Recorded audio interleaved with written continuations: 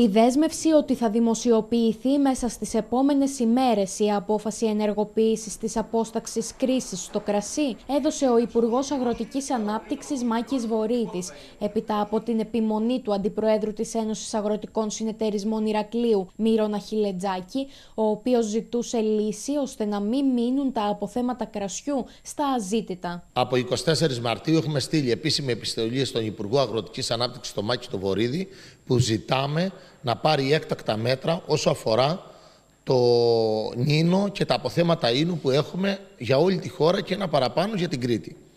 Ο Υπουργός μέχρι και σήμερα δεν είχε απαντήσει. Σήμερα το πρωί δεσμεύτηκε ξανά στην ερώτησή μου, μετά από πάρα πολλές φορές που έχει ερωτηθεί από όλους εμάς, τι θα γίνει με το απόθεμα. Είναι μια τραγική κατάσταση που συμβαίνει στο κρασί. Όπως δήλωσε ο Υπουργός Ανάπτυξης, οι εινοπαραγωγοί δεν πρέπει να ανησυχούν, καθώς τα ζητήματα που τους απασχολούν θα ρυθμιστούν. Αυτό σημαίνει ότι η νέα εινοπαραγωγική περίοδος θα αρχίσει τον Αύγουστο χωρίς το αγκάθι των αποθεμάτων. Μάλιστα, για πρώτη φορά, ο κύριος Βορύδης κατόπιν πιέσεων ανακοινώνει το μέτρο της απόσταξης στο κρασί. Μιλάμε για πάνω από 30.000 τρόνους αποθεματοποιημένο κρασί που πρέπει άμεσα να φύγει από τις δεξαμενές και να δοθεί σχετική ρευστότητα στον Ινοποιό για να μπορεί και αυτός με τη σειρά του να απορροφήσει τα φύλλα το μήνα Αύγουστο.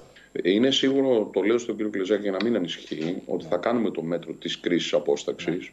Ναι, ναι. Ε, το μέτρο της κρίσης απόσταξης είναι ένα μέτρο με το οποίο ουσιαστικά, Μα μάλλον της απόσταξης κρίσης, είναι, είναι, είναι ένα μέτρο το οποίο ουσιαστικά εκείνο το οποίο κάνει είναι ότι παίρνει τα αποθέματα του κρασιού και τα μετατρέπει σε ενόπνευμα αυτό, μειώνει τα αποθέματα και επιτρέπει τον τρίγο να ξαναξεκινήσει από την αρχή. Να μην ανησυχούν για το θέμα της συνοπαραγωγής. Είναι όλο σε εξέλιξη και είναι και σε εξέλιξη στην Ευρωπαϊκή Επιτροπή, από την οποία περιμένουμε αναθεωρήσεις του κανονισμού. Η ανάγκη για αποζημιώσεις, όπως επισημαίνει και ο αντιπρόεδρος της ΕΑΣΥ, είναι επιτακτική, καθώς το κρασί είναι από εκείνα τα προϊόντα που αναγκαστικά μπήκαν σε καραντίνα, αφού πολλές εμπορικές πράξεις πάγωσαν. Το 97% των πωλήσεων έχει πέσει εξαρτούμαστε 100% από το χώρο της εστίασης και από τον τουρισμό και καταλαβαίνετε ότι όταν δεν γίνονται εμπορικές πράξεις ούτε στην εστίαση ούτε στον τουρισμό το κρασί είναι τελείως στα αζήτητα. Να σημειωθεί ότι σε σχετική ερώτηση του κυρίου Χιλετζάκη ο Υπουργός Αγροτικής Ανάπτυξης απάντησε θετικά και στο θέμα του φακέλου για τις αποζημιώσεις των ελαιοπαραγωγών της Κρήτης.